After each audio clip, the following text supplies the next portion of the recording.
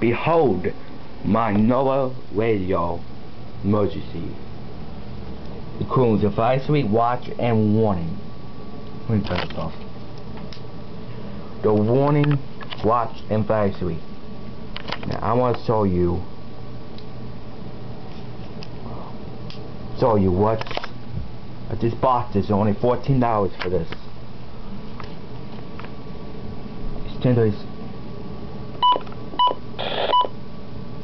10:36 p.m. of at 10 oh. States.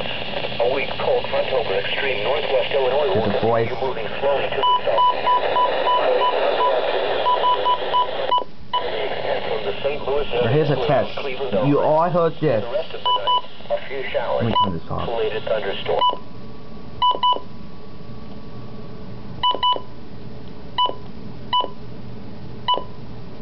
Hello type.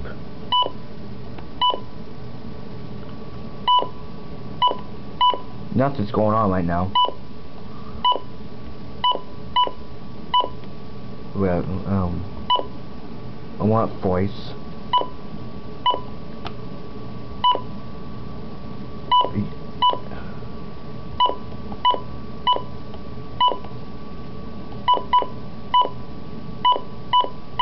You hear something like this, it's gonna be very loud.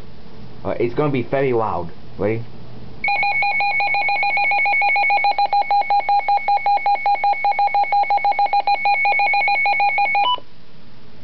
Uh, if you all, all heard that, it could be a warning, or a, a warning, only a warning. A tornado, severe thunderstorm, flood, blast flow, or wi winter radios. It's 10, uh, it's 10.38 p.m. No, nothing's going on. This is for, oh, what kind of weather? 20 watts or severe thunderstorm watch?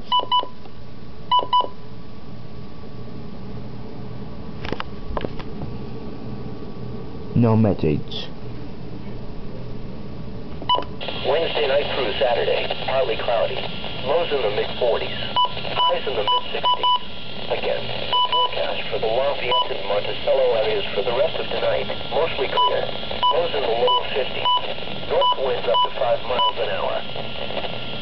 At 10 p.m. Eastern Daylight Time, at Lafayette, it was clear. The temperature 5 degrees. The dew point 49, and the relative humidity 56%. The wind was north Okay, that's all I want to show you. We just got a new radio alarm system. This is from now on season 2 or later. Bye.